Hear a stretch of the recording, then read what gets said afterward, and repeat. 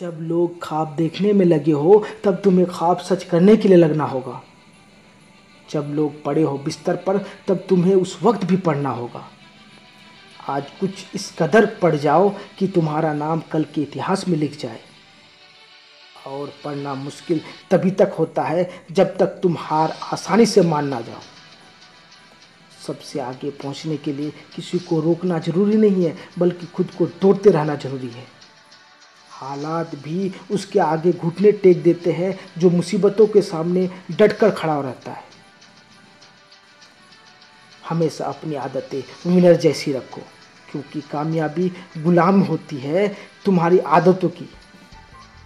महानता कभी ना गिरने में नहीं है, बल्कि हर बार गिर के उठने में है। जो पढ़ाई आज आपको दर्द लग रही है, अगर इस दर्द को झेलते रहो तो कल ये दर्द आपकी सबसे बड़ी ताकत बन जाएगी।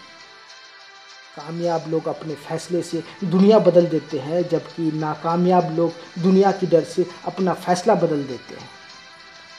अरे, कुछ करके दिखाओ अपने माता पिता के लिए जो अपनी खुशी से ज़्यादा आपकी खुशी देखना चाहते हैं।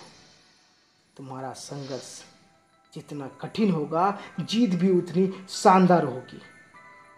मिलते हैं नेक्स्ट वीडियो में। signing off. ER Motivation.